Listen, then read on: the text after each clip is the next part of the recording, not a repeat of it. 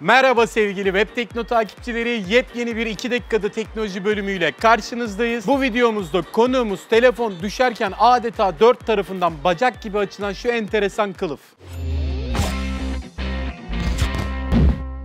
Şimdi arkadaşlar bundan bir 5-6 sene öncesine kadar bu telefon düşürme meselesi o kadar büyük bir dert değildi. Ama şimdilerde arkadaşlar bilmem kaç bin TL verdiğimiz telefonların yere düşmesi bize büyük bir sıkıntı. İşte Almanya'da Aalen Üniversitesi'nde okuyan değerli kardeşimiz mühendis Philip Frenzel bu derdi içine büyük bir dert olarak edinmiş ve belki de bu zamana kadar görmüş olduğumuz en kullanışlı kılıf olan bu dört bacaklı kılıfı icat etmiş. Şimdi arkadaşlar günümüzde de bazı kılıflar telefonu çok sağlam koruduğunu iddia edebiliyor. Fakat bu kılıfları kullanabilmek için telefonlarımızın estetik özelliklerinden ve tasarımından feragat etmemiz gerekiyor. Muhtemelen bu Frenzel'in kılıfının da böyle bir negatif etkisi var. Şimdi arkadaşlar Frenzel'in ilk projesi aslında telefonun etrafında aniden beliren hava yastıklarıydı. Fakat aklınıza arabalardaki airbaglerden gelsin bu hava yastığı bir kere açıldığı zaman tekrar toparlanması çok zor. Hatta işlemini yerine getirip getiremeyeceği de belirsiz. İşte Frenzel de arkadaşlar bu airbag fikrinden vazgeçiyor ve telefonun iki yüzünde arkalı önlü toplam ikişer adet olmak üzere 8 tane bacağı kılıfına ekliyor. Yani sonuç olarak telefon yere düşeceği zaman düştüğünü anlıyor ve 4 bacaklı bir kedi gibi tık diye bacaklarının üstüne düşüyor. Şimdi arkadaşlar biliyorum nereden satın alabiliriz, nereden satın alabiliriz diyeceksiniz. Ürün şu anda bir prototip ve yalnızca bir adet iPhone 6'da deneniyor. Frenzel'in kendisi de bütçe arıyor, seri üretime geçecek falan filan. Kılıfı da arkadaşlar 3D yazıcıyla birlikte yapıyor. Şöyle bir toparlayayım sizlere. Olay şu arkadaşlar, kılıf düşerken sensörler düştüğünü